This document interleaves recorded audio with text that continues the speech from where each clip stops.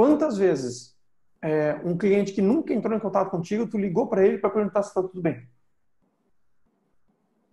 Talvez são poucos clientes, inclusive, né? E, e quanto custa isso para ti?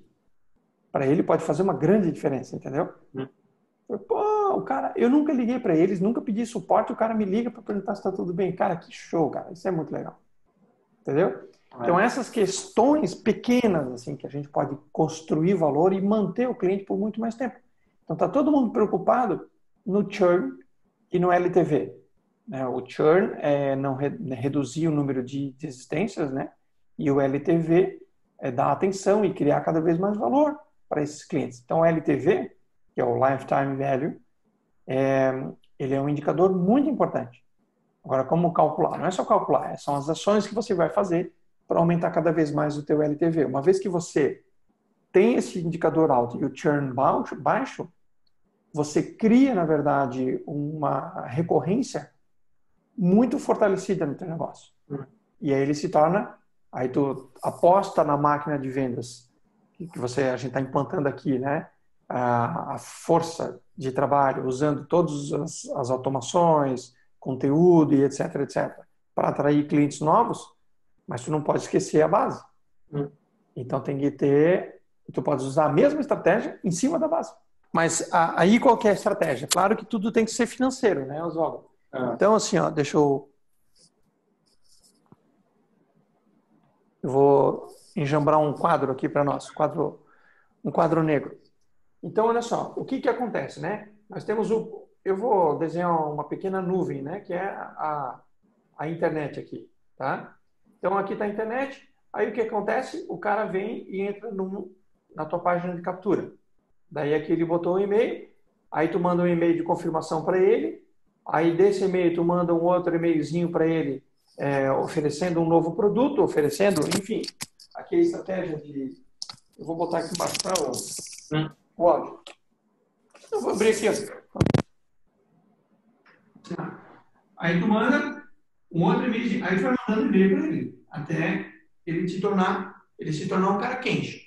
Aí ele se tornou um cara quente, o que, que vai acontecer? Alguém vai ligar, esse aqui é o telefone. Alguém vai ligar para ele.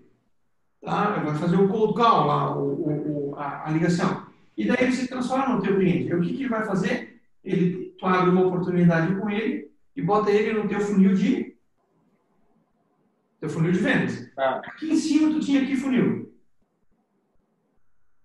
Nesse processo todo aqui, você tinha eh, a prospecção através do inbound, ou enfim, né? Até essa ligação, até gerar uma oportunidade, você tinha o funil de marketing.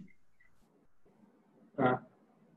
Que aí é toda a cadência de conteúdo, vai trazendo o cara, ele era visitante, se tornou um cara agora ele está interessado, agora ele quer um produto, ele, enfim, botasse aqui todo. Aí botasse aqui o funil de vendas. Aí chegou aqui, chegou aqui, o que, que cai?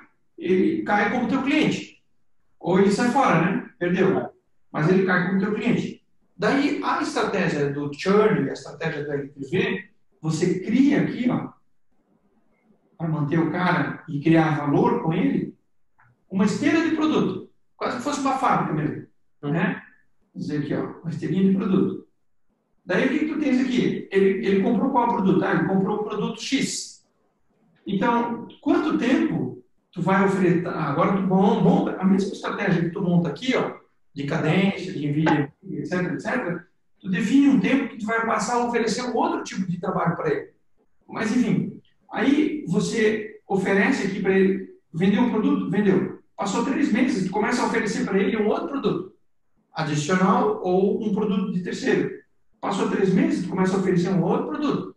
E aí, ao invés de tu cobrar o valor cheio desse produto que você está oferecendo, se ele viesse, se ele fosse teu cliente, aqui, ó, vamos dizer, produto 1, produto 2, produto 3, produto 4, opa, enfim, isso aqui é um 4, 5, 6, e ele entra nessa esteira, essa esteira não acaba, entendeu? Ele vai morrer. Tu pode oferecer várias coisas é, paulatinamente aqui para o cara, entendeu? Só que esse produto aqui custa X, esse aqui Y, e esse aqui, sei lá, é, é, Z, e esse aqui W, tá? Esse cara aqui, vamos supor, ele comprou, ele pagou X.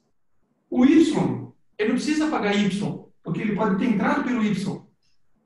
Entendeu? Hum. Tu pode dar para ele o X, pode oferecer para ele, não, peraí, se tu entrar pelo Y, eu te dou o X. Agora, se ele entrou pelo X, esse Y aqui, ele pode pagar Y menos X. Não, peraí, olha só, você comprou o nosso sistema aqui com a parte sem integração do e-commerce. Hum. Mas o e-commerce para ti não tem custo nenhum. E aí, daqui a pouco, ele quer investir em e-commerce. Tu sabe disso, que é uma estratégia boa para ele, para ele crescer, etc. Falei assim, olha, eu tenho um módulo aqui que eu, eu, eu- ele custa, custa para ti se fosse comprar X. Mas é o seguinte, como tu comprou Y, eu vou só te cobrar o custo de implantação, eu vou te dar o sistema, porque eu sei que vai te ajudar nas vendas, entendeu? Aí tu cobra a implantação do cara. E aí, se ele quiser depois comprar o, o Z, tu cobra Z menos Y. Tá entendendo? Tu Sim. cobra só a parte que é para ele subir a escada. E o interessante dessa estratégia é que eu já tinha desenhado ela quando eu comecei o venda do software.